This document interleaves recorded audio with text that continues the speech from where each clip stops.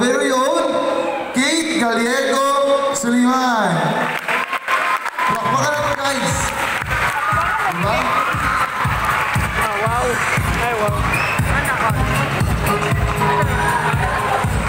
Okay, um, in behalf, Kate, sa tomato Kate, in behalf of the school administration, headed by our school president, Sir Mike, our academic directors, faculty and staff, students, we want to congratulate you kay gilid lang kay DCAA ang proud kasi mo at the same time the whole Digos City kay gidala gini mo ang Digos City sa national competition. Balakpakan na to si Kate guys.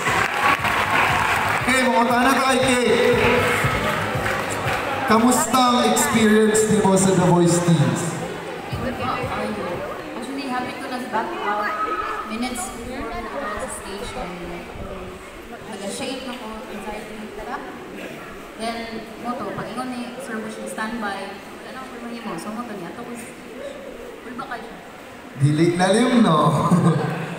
okay, um, so, last minute, you almost um, back up, di ba? Tapos, okay, before kani kanta, if ever na mo tuyok sa imo, ah, for example, mo tuyok ang upat, kinsa gyud ay dap, kinsa gyud imuhang gustong mahimong coach. Um, I grew up sa song ni Bea, so um, gusto dyan na ko siya piyon, pero mas na-feel na ko ang sincerity ni Bamboo. Um, i-explain niya kung saan niya gusto pagpagawas ang tinuod na pagka-artist sa singer. So, si Bamboo, Okay, Cap Kawayan in the house. Okay. Honestly, nagtanaw mi kagabi eh. Mura namig malupat-lupatan. Eh, hapit na mahuman ang kanta, wa panilingi ang upat ka coach. Kami sa balay, sige nagpanyagit. Mura namig naamaw kagabi eh. And luckily, pinakauna nga nilingi si Bamboo, second si Sarah, third si Leia, and last si Apple.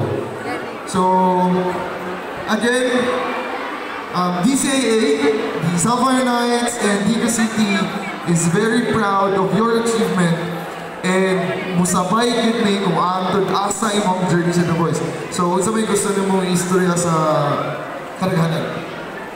Um, to anyone who suffers um, depression, anxiety, um, or whatever you want to call it, I want you to know na you can achieve your dreams despite of having mental illness. Um, kung unsa imong mga problems, it won't last long and always pray to God. Thank you. Okay, thank you so much, Prena. Kate, ay, say, say screen, screen name niyo mo dito. Kate Soliman. Ah, Say, Kate Soliman. Kinana tong bibitri nga Kate Pena. So, sa Manila, yung, yung screening, napagin screening dito. So, Kate Soliman. And this afternoon also, kauban ni Kate, iyahang mama. Hi, ma'am. And ang young sister na si Katie. Hi, Katie! Wala na mga gets ko. Okay, so... Um, is it, nakay gusto pasalamatan or nakay gusto invite? Um,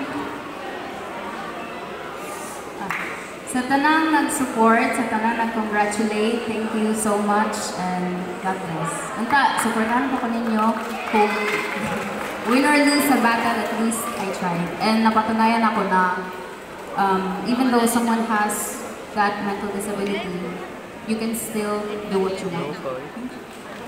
Okay, once again, palakpakan na to si Kate Pena. Nadungog ka na. okay. Hinay tayo. Gusto mo sample?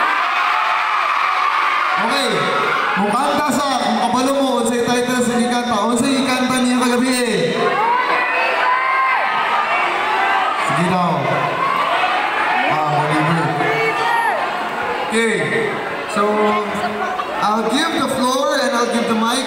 Short lang, dili ka na to ikon kay i-prepare na niya yung voice, di na siya mapataka o kanta. Alam mo na.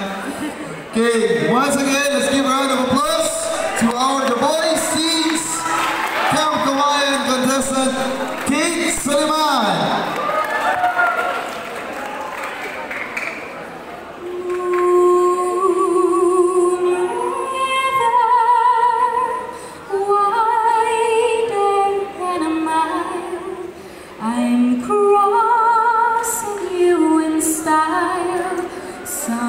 day.